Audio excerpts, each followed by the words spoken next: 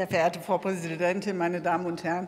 Es ist ja schon erstaunlich, wie kurz die Erinnerung der Unionsfraktion reicht.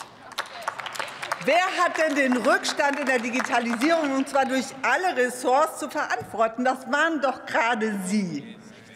Und ich erspare Ihnen jetzt mal, alle Digitalziele aufzuführen, die Sie in 16 Jahren Regierungszeit verbockt und verfehlt haben. Das würden nämlich die vier Minuten komplett sprengen.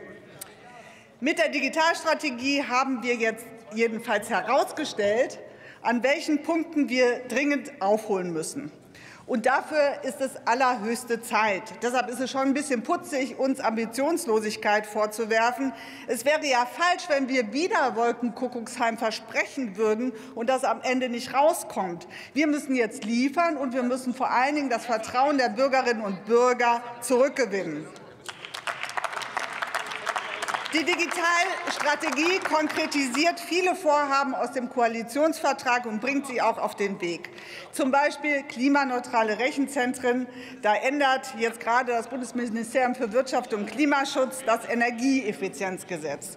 Oder beim digitalen Verbraucherschutz, den das Bundesministerium für Umwelt und Verbraucherschutz mit dem Recht auf Reparatur und dem digitalen Produktpass voranbringt oder das Recht auf Verschlüsselung und damit eine klare Absage an die sogenannte Chat-Kontrolle. Und ich hoffe deshalb sehr, dass sich die Bundesregierung auf EU-Ebene mit der Ablehnung der anlasslosen Überwachung von Messenger-Diensten durchsetzen kann. In der Strategie ist auch der Leitgedanke Public Money, Public Code konsequent verankert. Open Source ist nicht nur eine Alternative zu großen außereuropäischen Tech-Unternehmen, sondern eine Investition in die nationale Sicherheit, in gesamtgesellschaftliche Resilienz und in lokale Softwareentwicklung. Dieser Ansatz muss nun in den Beschaffungsprozessen und vor allem in der Verwaltungsdigitalisierung dauerhaft durchgesetzt werden. Beim Onlinezugangsgesetz müssen wir auf volle Kraft vorausschalten. Dazu gehört endlich die digitale Identität zu etablieren. Auch hier müssen wir fast bei Null anfangen, nachdem der frühere Innenminister erst mal falsch abgebogen und dann in der Sackgasse gelandet ist. Dabei haben wir mit dem neuen Personalausweis bereits seit 2010, also seit zwölf Jahren, ein sicheres und funktionsfähiges System. Nur kennt das niemand, und es wurde eben auch nicht weiterentwickelt oder bekannt gemacht, weil man sich eben auf eine andere Lösung versteift hatte. Dafür müssten Sie hier eigentlich zu Kreuze kriechen.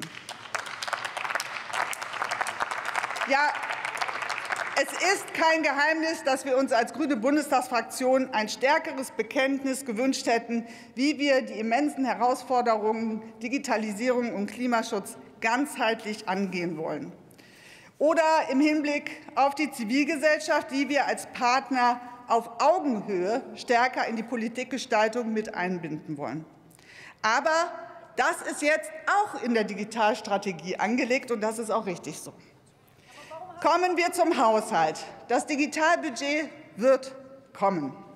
Der Souverän Tech Fund ist bereits im letzten Haushalt anfinanziert worden. Fürs nächste Jahr sind 10 Millionen Euro eingestellt.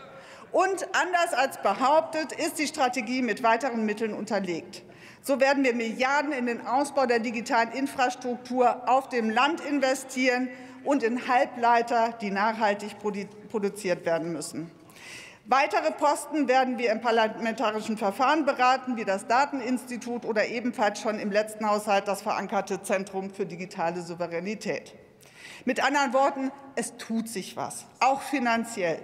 Wichtig ist die Unterstützung von Wirtschaft, Wissenschaft und vor allem von der Zivilgesellschaft. Wir können unsere Ziele nur zusammen erreichen. Und so gewinnen wir auch wieder das Vertrauen der Bürgerinnen und Bürger.